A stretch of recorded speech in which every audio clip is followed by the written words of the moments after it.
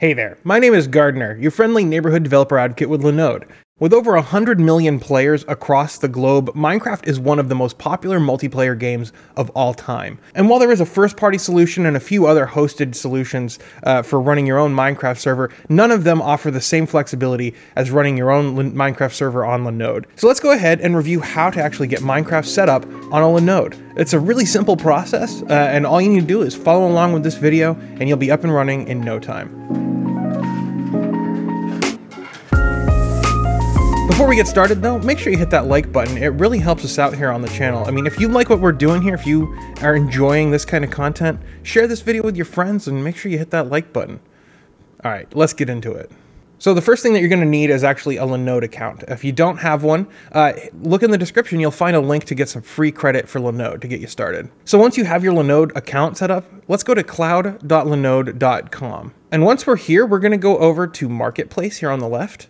And then we're going to uh, select Minecraft Java Edition right here. Once we've selected that, we can scroll down. Now, this actually has more settings than any other uh, uh, one-click app than, than we've reviewed before, but that's okay. Um, most of them are optional and have same defaults. So we're going to go over all of them. And if you see an option here that you actually want to enable, then uh, you or disable for that matter, you can just follow along and, and find the one when, when you're setting up your end. So the first thing is going to be the name of our world. Let's just say Gardiner's World. This can be anything you'd like. Next thing is going to be message of the day. Uh, this field is going to be displayed to everyone who logs into your server. Um, and uh, powered by Linode, I think is pretty awesome. So we'll keep it. Now, flight enabled won't affect uh, your creative mode flight. This is going to affect uh, mods that have flight ability. Uh, I'm going to say false. That's fine. Um, Netherworld enabled. We'll say true. Uh, the Netherworld is an interesting area, but if you don't want the Nether, we can hit false. So with player achievements enabled, uh, it's actually going to show any achievement that any player earns to everyone who's logged into the server. Uh, I find those kind of annoying, so I'm going to hit false. Maximum players. Now, 25 players is actually going to be uh, a little much for the specifications we're going to be running at. So I'm going to say 15, and we'll, we'll talk about the specifications you need uh, a little bit later. Uh, player idle timeout is the number of minutes before a player is kicked for being idle. Um, we'll just choose, uh, let's choose 15 minutes. Uh, difficulty level, easy, medium, hard, peaceful. Uh, peaceful is going to not spawn mobs and, uh, you know, easy, medium, and hard is pretty self-explanatory. Hardcore mode uh, is actually going to set the entire difficulty to hard, and then once a player dies, they're actually only allowed to rejoin the server as a spectator. I'm going to leave that false. PvP means that players can attack each other. I'll leave that to true. Force game mode enabled uh, will force the uh, the player to join the server uh, at the default game mode. So if the server's default game mode is creative, then all players will spawn in as creative mode and, you know, survival will be survival regardless of how they last signed out. Uh, world type default, uh, flat, and legacy. These are the types of world that get generated. Uh, I'm just going to go with default. You can add a world seed here if you want to have, uh, if you want to use a specific seed for the procedural generation of Minecraft. Spawn animals, uh, spawn monsters, and spawn NPCs are all pretty self-explanatory. It's going to uh, enable those types of monsters. Default game mode, survival is going to be you need to eat to survive. Creative is more like uh, first-person Lego. Adventure means you can't destroy blocks and just have to like go through the world uh, and, and, find your way through the world without destroying blocks or anything like that. And spectator is uh, not being able to interact with anything really. Uh, we'll just stick, stick with survival. Structure generation we'll leave to true. That's going to create uh, the the kind of procedurally generated structures that you find throughout most of the game in Minecraft. Maximum build height is pretty self-explanatory. It's uh, how high the player can actually build.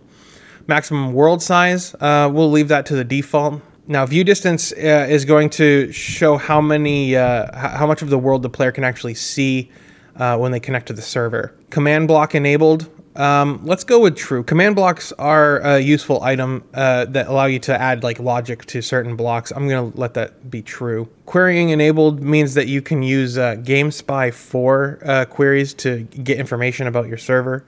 Let's leave that to true. enable RCON is remote console access. Uh, we'll set that to true. uh, RCON password, we're going to choose a uh, unique password here. Maximum tick time is the uh, maximum number of milliseconds that can elapse between uh, two ticks, not even frames, but ticks. Uh, so logic updates basically. Network compression threshold is the number of bytes before a packet is compressed. Uh, op permission level is going to be the default permission level given to players when you use the slash op command to assign operators. Uh, the port number is going to be the port number that you use to connect to the game. Snooper enabled allows uh, telemetry to be sent to the Minecraft home server. I'm going to set that to false. And use native transport uh, enabled. I'll set that to true. That just basically optimizes the server. Well, you know, uh, it took a little bit, but we got through that. Uh, that was that was relatively painless, right? now, like I said, I didn't adjust many of those options. Most of those are going to be pretty sane defaults. Uh, you might want to adjust one or two things here, depending on the kind of game you want to run. But now that we're done with the with the Minecraft specific options, let's go down uh, a little bit further down the page and uh, set up some of the more uh, Linode oriented items uh, region here. So region is going to be where your uh, server is actually running. I'm going to choose Newark, New Jersey because I'm in the Northeast United States. And you really want to have your Linode location as near to your players as possible. Um, that's just to reduce network latency and such. Uh, let's scroll down a little bit more. We're going to go to our Linode plan. Now let's talk about the kind of plan that you need in order to run uh, Minecraft optimally. Uh, the Linode documentation specifies that you should actually have uh, 2 gigabytes for every 15 players that you anticipate having in your server. So if you're going to have 15 players, you would need a 2 gigabyte Linode. If you're going to have 30 players, you would want a 4 gigabyte Linode and so forth. Now you'll remember uh, uh, earlier I specified 15 players maximum, and so that's because I anticipated using a 2 gigabyte Linode. Okay, let's scroll down here. Let's let's give our Linode a name. Um, Gardiner's Minecraft server. And this name has to be unique for your Linode account. So if you have, if I already had a Linode server that was called Gardiner's Minecraft server, this wouldn't work, but it'll work for now. Um, let's go ahead and select a tag. These are optional. And finally, let's go ahead and just select a password. Now this is going to be the root password for the Linode that you're creating. Um, finally, there's options here for adding SSH keys or enabling backups or anything like that. We don't need to do any of that. We'll just go ahead and hit create.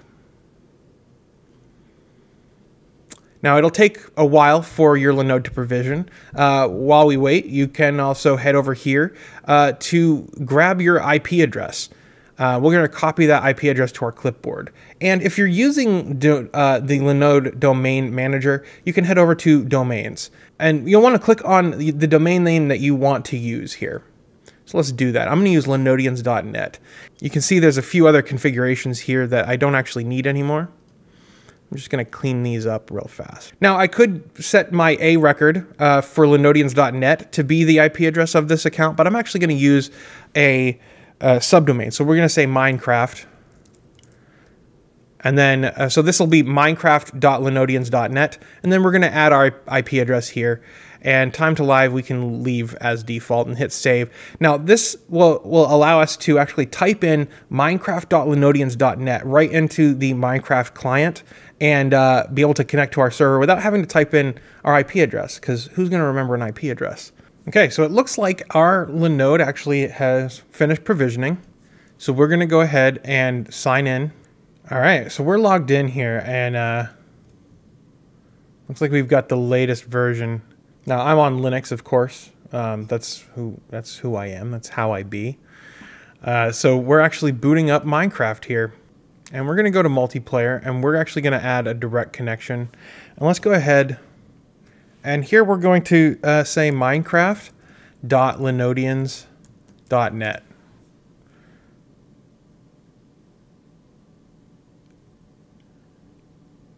And yeah, it's really that simple. Now, I'm all logged in here. Uh, we have uh, Minecraft set up running on our remote server. And uh, we've connected to it. Now, I'm already logged in. I think that this is super nifty. Now, if you actually want to make yourself a mod, uh, you're actually going to have to go uh, and log into the Linode. So let's do that real fast. We'll leave Minecraft open in the background, but we're going to go back here. We're going to go to the Lish console. We're going to type in our username, which is root, and the password that we specified, which is the last field that we filled out uh, before we hit create. Uh, now we're logged in. All right, so what we're going to want to do is actually cd to home, MC server, and then server files. And then we're going to want to nano uh, ops.json. And we're just going to add our Minecraft username in quotes like this. And if you want to specify other people, you just add a, a, a, comma and then add another username between quotes. But um, that should suffice. All right, well, I hope you enjoyed that video. I had a lot of fun. I'm really interested to hear what you guys think about uh, running your own server on Linode. Uh, let me know down in the comments. We, we really appreciate, we read every comment you guys send us. So uh, thank you so much for uh, being here, for watching this video, for taking the time to spend some time with me today. Uh, and I'll see you guys in the next one.